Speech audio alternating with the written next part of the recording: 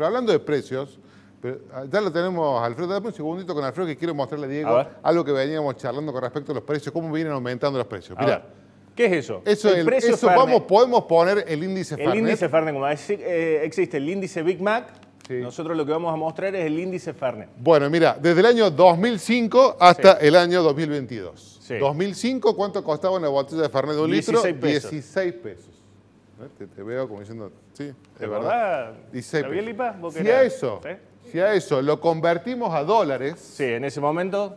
5 dólares con 47 eh, centavos es lo que pagamos en el año 2005. Ajá, bien. Y bueno, fue aumentando, obviamente. 16, 34, 45, 68.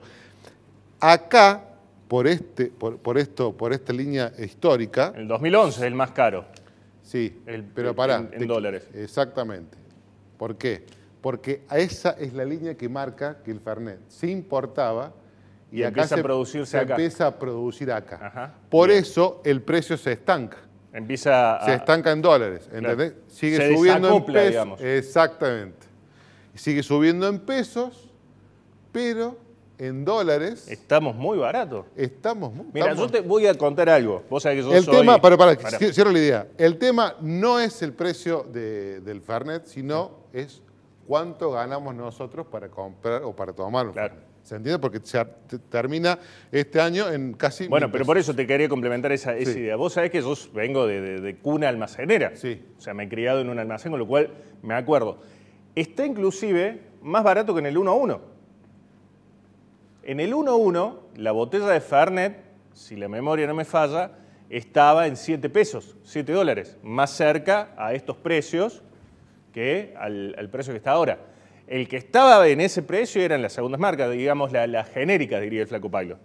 Eh, está más cercano a ese precio. Pero sí es cierto que el problema, como suele decir nuestro economista de cabecera Juan Pablo Carranza, es que no son los precios altos, sino los, los, sueldos bajos. Los sueldos que se han bajado. Él dice que a partir del, 2017, que fue un gran año, así me decía hoy, el último fue, año. fue el último gran año que tuvo Argentina, 2017.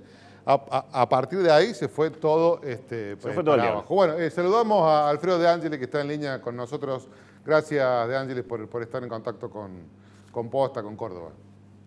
Hola, buenas tardes, buenas noches. Estaba atento al precio del Fernet, Alfredo. Sí, lo noté muy, muy preocupado por ese precio.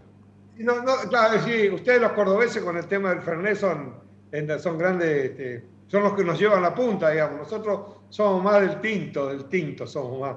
Este, y hay variedades.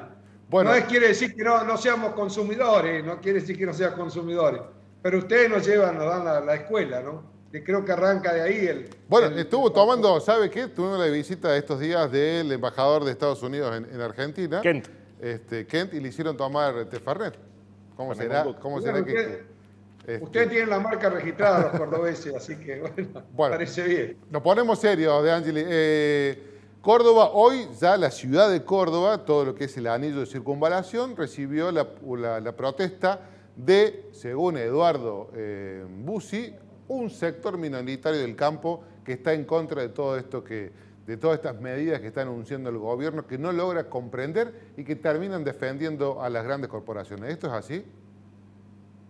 Ah, yo no voy a entrar en polémica con Eduardo, porque siempre estuve en polémica desde cuando estuvimos en el gremialismo, teníamos una mirada distinta de qué país queremos, cada uno. Lo que pasa es que no lo hacía público, pero teníamos una diferencia este, en algunas cosas eh, yo creo que la Argentina necesita el pequeño, el mediano y el gran productor.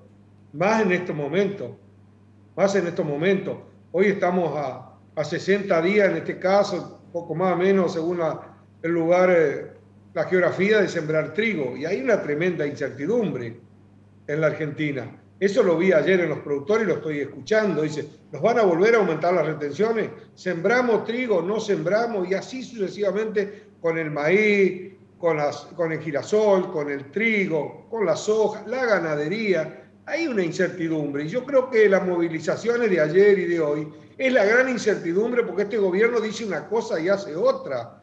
Y aumentar esos dos puntos a la harina de trigo y a la harina de aceite también genera mucha desconfianza en los productores.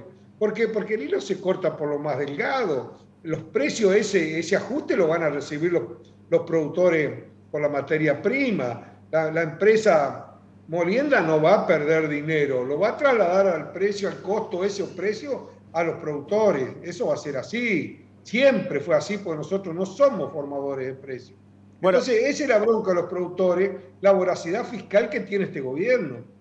Sobre el tema este, usted me dice que estuvo con productores este fin de semana. ¿Cuál es el clima que se está viviendo más allá de esta cuestión puntual de eh, las retenciones, de la subida de puntos de retenciones al aceite de soja y a la harina de soja? Digo, eh, ¿están esperando, está, se está caldeando, hay un, un, punto de, un caldo de cultivo similar al de la 125 del 2008?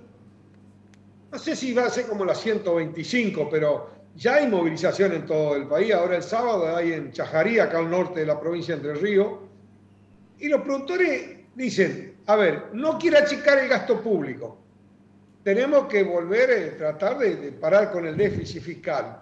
¿A dónde van a ir? A cobrarnos más impuestos a nosotros. No será directo o indirectamente, pero nos van a cobrar más impuestos. Y el campo le dice, basta, no queremos más impuestos. Hoy tenemos lamentable una guerra, la invasión de, Rusia a Ucrania, y eso ha acelerado un montón de precios, pero también aceleró una oportunidad para la Argentina de poder exportar a esos lugares donde eran los proveedores eran estos dos grandes países que lamentablemente están en guerra y van a aumentar los commodities, pero también no van a aumentar los insumos y no están aumentando los insumos. Pero la Argentina necesita vender alimento al mundo. Tenemos un, un momento histórico, necesitamos crear más empleo, necesitamos eh, darle valor agregado, necesitamos exportar. Y con esta, con esta incertidumbre de un gobierno que no ha dicho nada, que todavía no tiene un plan, que todavía no tienen un plan, los productores dicen, ¿qué hacemos? ¿Seguimos en esta? ¿No seguimos? ¿Seguimos sembrando? Y bueno, vamos a manifestarnos por empezar. Espero que el gobierno haga un plan agropecuario como lo hicimos con Mauricio Macri, que en algún momento lo tuvimos que dejar, pero cuando empezamos con Mauricio Macri, Mauricio dijo, siembren trigo y el maíz que van a cosecharse retenciones. Bueno, después le subió, y después le subió las retenciones, Macri, ¿no? Dijo muchas cosas Mauricio Macri, ¿no? Bueno, también las tuvimos que subir, pero dijimos, vamos a bajar cinco puntos por año y lo veníamos cumpliendo hasta que la seca del 2017 y la lluvia del 2018 perdimos las dos cosechas con una soja de 310 dólares. Hoy tenemos soja de 600 dólares. Y, cosechas récord tuvieron estos dos últimos años este gobierno. ¿Qué hizo el dinero? ¿Qué hizo el dinero? Agrandó el déficit y se endeudó en más de 50 mil millones de dólares en estos dos últimos años.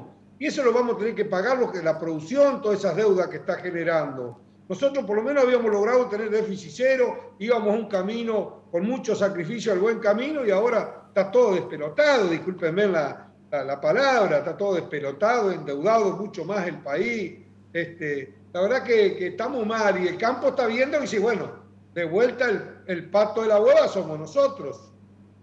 Alfredo, ¿qué le dice a los... a ver, este programa sale en Villa María, Río Cuarto, Jesús María, Marcos Juárez, Belville, toda la zona productiva, el corazón productivo de, de, la, provincia de Córdoba. Ahí, donde sale toda la, riqueza del país, gran eh, parte de la riqueza del país. Exactamente. ¿Qué le dice al productor que hoy está justamente, que no lo pudo escuchar seguramente en, las eh, asambleas que participó este fin de semana? ¿Qué, qué, qué mensaje se le da de tranquilidad, de esperar o de, muchachos, vamos calentando motores?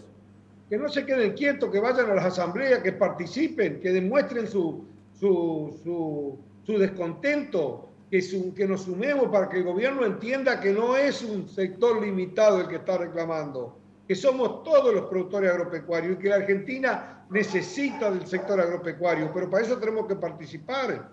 Yo digo, cuando hay participación, siempre y cuando sea en paz como logramos nosotros, sin agresión, sin nada, y manifestarnos es lo mejor que nos puede pasar, porque si no, no estaríamos hablando de este tema con ustedes hoy.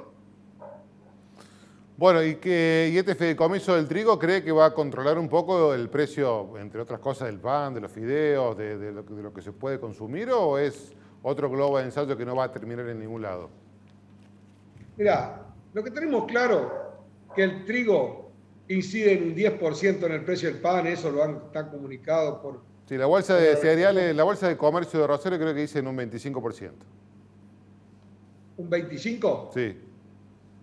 La, la, organización entre la Fundación FADA dice un 10, un 12%.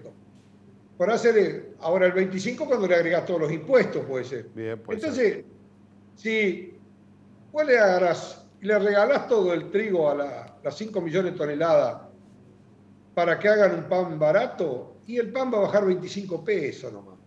Así que le van a subvencionar la harina de trigo, que no está mal que lo, se lo hagan, ¿eh? Pero no van a resolver el problema del precio del pan, no lo van a resolver, ojalá lo resuelvan. Pero el pan no es el único alimento. Acá tenemos la carne, tenemos varias cosas que, están, este, sobrecargadas de impuestos. Ahí en el pasamano, en la cadena, como le llamamos nosotros, y ahí, ahí tiene, si vuelve a hacer, tiene el 50% de impuestos.